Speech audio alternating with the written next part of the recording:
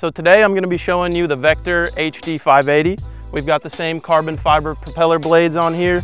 The motors are considerably larger. We've got 167 pounds per motor for the thrust. ESCs are a lot larger as well. Same cooling effect from the blades.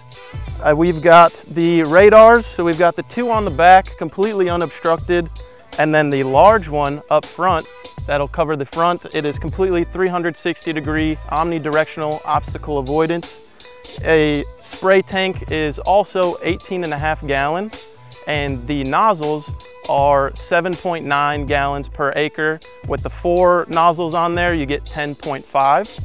The camera on the front also has a virtual gimbal, so it'll move around just like the P150, you just won't see it. And the spotlights on the front, great for nighttime flying, as well as the night vision that is equipped on that camera. And then lastly, we've got this battery. It's about 35 pounds, not too bad.